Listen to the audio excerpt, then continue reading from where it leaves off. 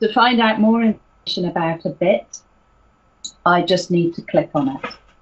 So I can click on it in the timeline and the side panel over here will open containing uh, detailed information about the bit, the bit title, the description, a thumbnail. Uh, I can add tags. Anything I want to edit about the description of a bit, I can do over here in the side panel. Uh, when I've finished editing, I can get rid of the side panel just by clicking on the orange arrow. I can edit and find out about a bit when it's down in the Organize panel as well. Same thing, I just need to click on it once. There we go.